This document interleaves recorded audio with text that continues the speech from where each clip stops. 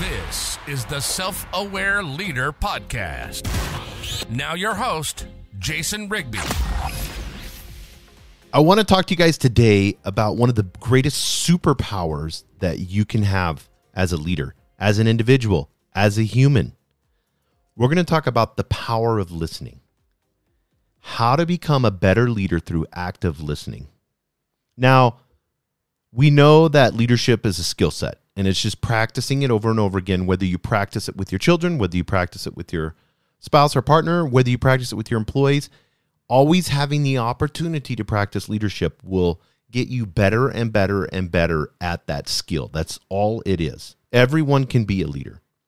But one of the most essential yet often overlooked components is the ability to listen but not just listen to listen actively.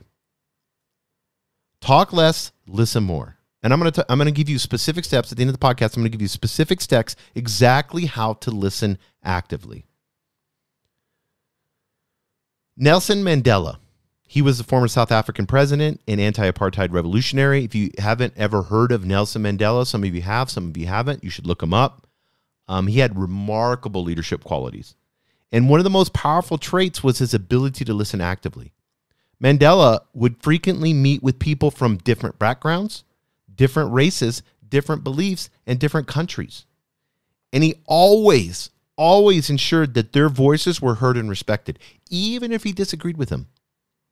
He would listen and pay attention, and you would see him in meetings, and, and you could watch, and even on YouTube, they have some of these where he, he was always pushing for unity, but always listening and understanding where they were coming from and why we could not create unity. What was the concern with this? And he brought understanding and cooperation among people that were so divided. That was kind of his expertise. He would bring people together because he was always had a sense of unity. And guess what? People wanted to talk to him. Every every leader in the world had talked to Nelson Mandela. Why? Because they could sense him fostering unity, understanding and cooperation. And this is a prime example for us to listen and create a more inclusive and collaborative environment. And I'm going to tell you exactly how to do that. Another great leader was Franklin D. Roosevelt, our president. He had to work through the Great Depression and World War II. Imagine that. He had something called, and this is the old school days, he had something called the Roosevelt Roundtable. And it was very informal gatherings of advisors.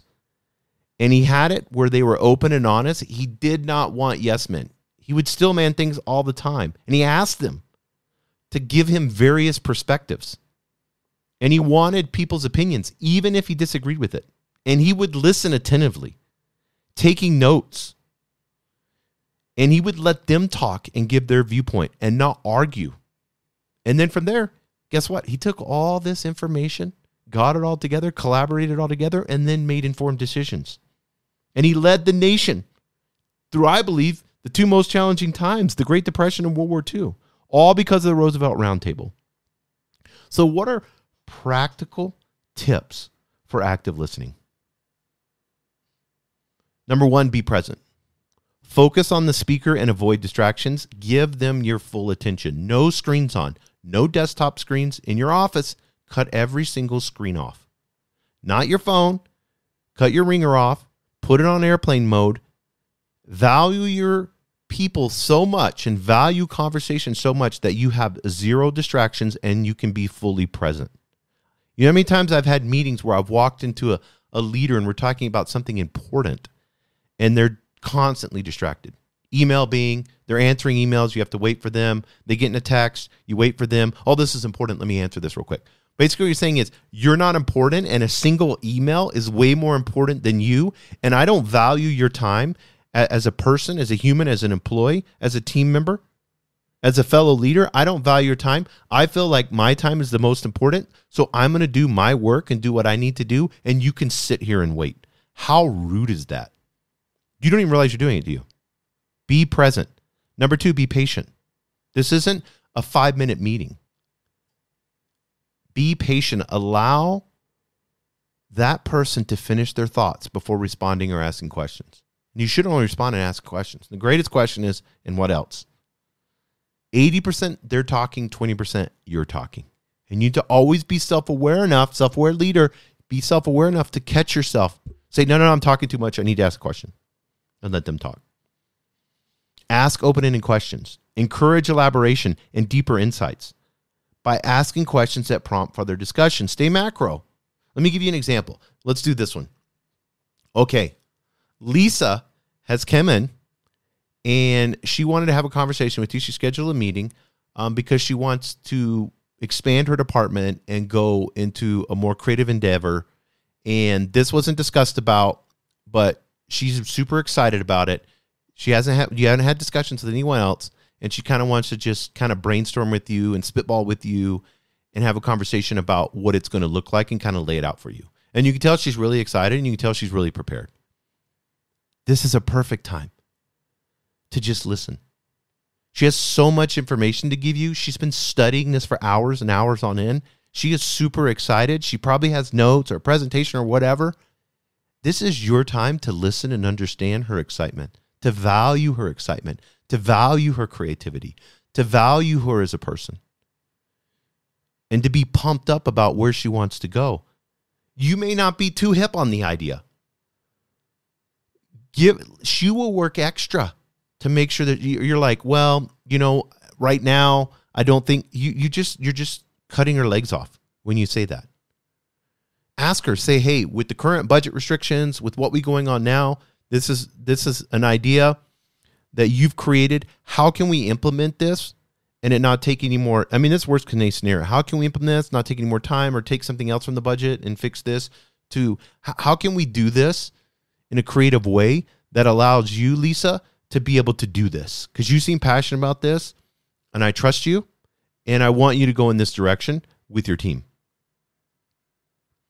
But you can ask her, like, what does it look like? How does this look like practically? What happens with this, this, and this if we do this? And those will come to you. So the take your statements, be self aware enough to the, the statement that you're wanting to say, ask the question on it. Guaranteed, you'll see a, a hundred times, thousand times better response, and your employees will be a hundred percent more pumped up, excited, and they'll be working in what they want to do. Reflect and paraphrase. Show that you understand and value the speaker's perspective by summarizing their key points and asking for clarification. So, so you you want to take the team and you want to do this creatively and this this this Lisa. So this is what you're telling me. Um, I just need some clarification on how much time this is going to take to implement and what the budget's going to be like on it. She may say, well, you know, this is kind of a rough draft. I just came up with that. I haven't really thought about that. Well, let's schedule another meeting, Lisa, and let's go over that. Let's kind of get the fine points, the details down, gain some clarity on it, and see how extensive this is going to take. Is this something that we need to, you know, put a lot of resources to or not? Um, you know, and then let her know your constraints. Say, hey, you know, the budget's capped out. We'd have to kind of get rid of a few things um, to be able to implement this. I, I can be creative, and you can too but let's work together on this so that we can get this because you're excited about it and I, I want you to run with this. Avoid interrupting. Guys, I see this all the time with leaders. Basically saying, what you're saying is not important, and what I have to say, I have to get out right now. Be self-aware enough that when you want to interrupt, that you can catch it in your head and say, "I'm not value." Just say this: "I'm not valuing this person enough. I need to listen. I'm going to listen, and I'm going to value this person. I love this person. They're a great employee. I want to listen." Your thoughts are not that important. yeah. Don't be a narcissistic leader. Great leaders understand the importance of listening actively and genuinely. People can tell right off the bat. There's something that we have in us through evolutionary psychology and millions of years that we can tell when somebody's listening and when they're being genuine. Prioritize the practice of talking less and listening more. Foster a culture of collaboration, innovation, and respect. You model this to your leaders, guess what? They and your employees, they will do the same to others. Look at Nelson Mandela. Look at Franklin D. Roosevelt. Even 3M, you know the guys that made post-its, but they make a ton of stuff. Look how much stuff 3M. They have this in their DNA. This is how these new products at 3M come up, post-it notes and everything else because of collaboration, because they encourage their employees to share ideas. They encourage their employees to develop and go out on a limb groundbreaking products. Scotch tape was invented this way, guys. Post it notes, from this. Think about that. By allowing their employees to be creative and listening, active listening. This is the cornerstone of effective leadership. Aspiring, if you're an aspiring leader, if you're a young leader, you can try this at home. Actively listen to your kids, actively listen to your partner, show respect. Active listening in your daily interactions, I guarantee you will change your team and your organization. Thank you for tuning in to the Self Aware Leader Podcast with host Jason Rigby. We hope this episode has inspired you to unleash your full potential and embrace your inner leadership. By expanding your consciousness, you can transform your mind, body, and soul and become the remarkable leader you were always meant to be. If you found this episode valuable, please share it with your loved ones and help us expand our community. Thank you for listening, and we look forward to having you join us again on the Self Aware Leader Podcast.